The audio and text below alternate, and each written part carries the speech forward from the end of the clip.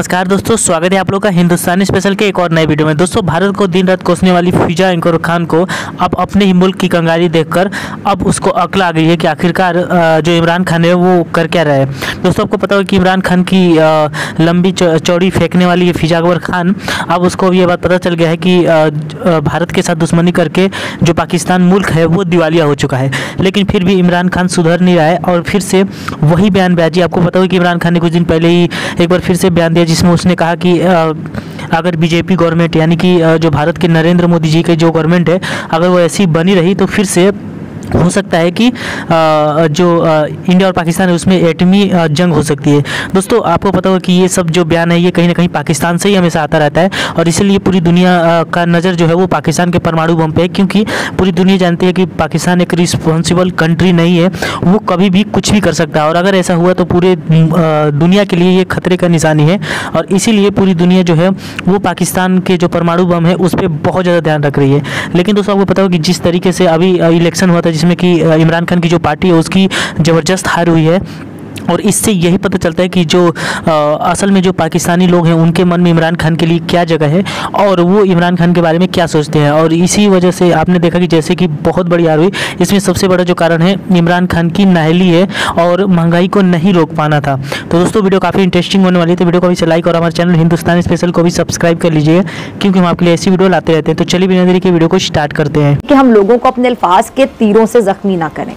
हाँ हम दूसरों से इख्तलाफ कर सकते हैं, लेकिन ये इख्तलाफ जो है, ये तंज के तीर चलाए बगैर भी किया जा सकता है, दिल आजारी के बगैर भी किया जा सकता है। आए रोज के गालम गलोच एक दूसरे को बुरा भला कहने से माहौल में यकीनी तौर पर डिप्रेशन पैदा होता है। माहौल घुटन ज़्यादा हो जाता है, जहाँ सांस लेना भी दुश्वार हो जाता है। अच्छा अगर मैं महँगाई की बात करूँ तो ब्लूमबर्ग के मुताबिक पाकिस्तान में महँगाई की जो शरह है, वो खत्े में सबसे ज़्यादा है। पिछले छह महीने के दौरान पाकिस्तानी जो रुपया है, वो एशिया की करंट अकाउंट का भी ज़िक्र कर दिया।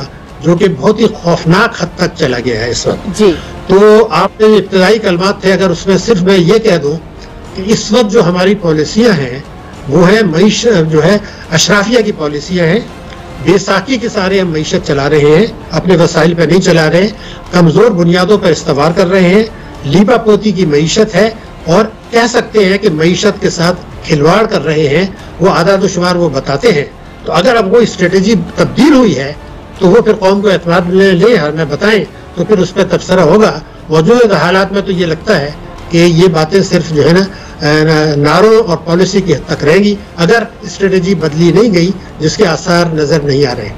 जनाब ठीक है। अच्छा डॉक्टर साहब स्टेट बैंक ने जो गैर मुल्की करेंसी है, उसकी खरीदो फरोख के हवाले से जो एक्सचेंज कंपनीज़ है, उनके कवायद में तरमीम की है। अब एक रोज में दस हज़ार डॉलर जो साल में एक लाख डॉलर से जायद नहीं खरीद सकते। तो क्या पाकिस्तान जैसे मुल्क में डॉलर खरीदने का ये जो कानून है दस या पंद्रह साल पहले नहीं कर देना चाहिए था आपके मुताबिक?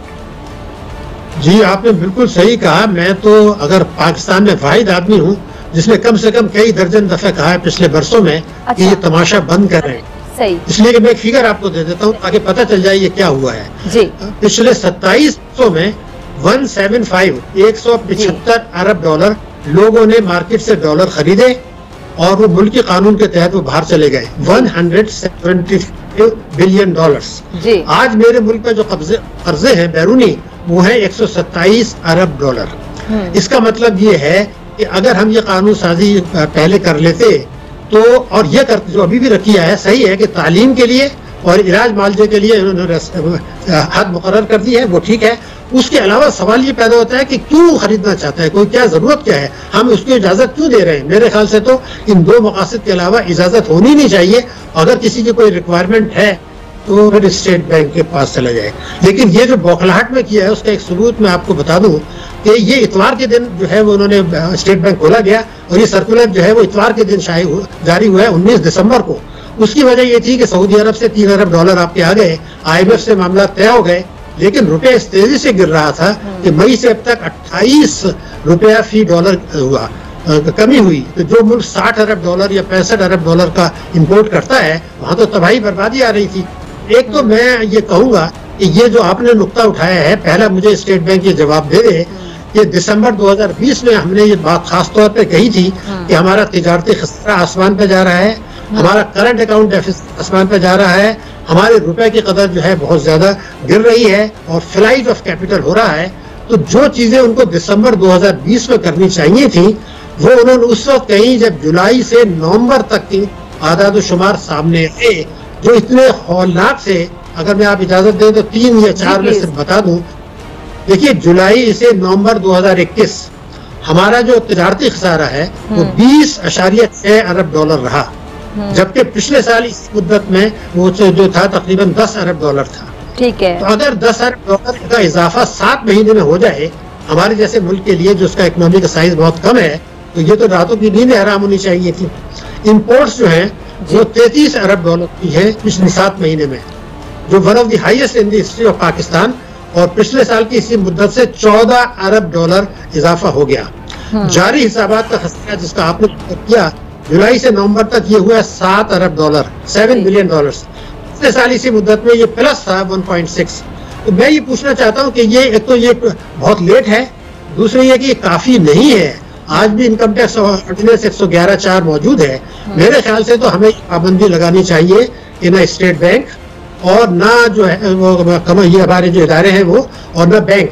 पैसा बाहर भेजने की उनको इजाज़त नहीं होनी चाहिए किसी भी काम के लिए सिवाय तालीम के लिए और सेहत के लिए। ये मैं इसलिए कह रहा हूँ कि मैंने जो एक सौ अरब डॉलर की फिगर बताई यानी अगर वो ना होता और तो आज हमारे ऊपर टेक्निकली कर्जे ही नहीं होते और वो कर्जे होते जो बनाने के लिए लेते तो ये जो अशराफिया की मीशत है ये जो बेसाखी की मीशत है ये खत्म होनी चाहिए वरना बहुत प्रॉब्लम्स पाकिस्तान में बच जाएँगी। के मुताबिक जो पाकिस्तान में महँगाई की शरह खत्ते में सबसे ज़्यादा बताई जाती है यानी पिछले छह महीने के दौरान पाकिस्तानी जो रुपया है वो एशिया की तेरह करेंसीज में सबसे ज़्यादा बदहाल रहा है। तो आपकी नज़र में इसकी जो वजह है हुकूमत की नाकिस पॉलिसी है आई एम एफ़ के पास देर से जाना है या फिर इसकी ज़िम्मेदारी जिसमें हुकूमत कहती है जो पिछली हुकूमतों की वजह से हम ये सब कुछ भुगत रहे हैं तो सीधी सीधी ये बात है।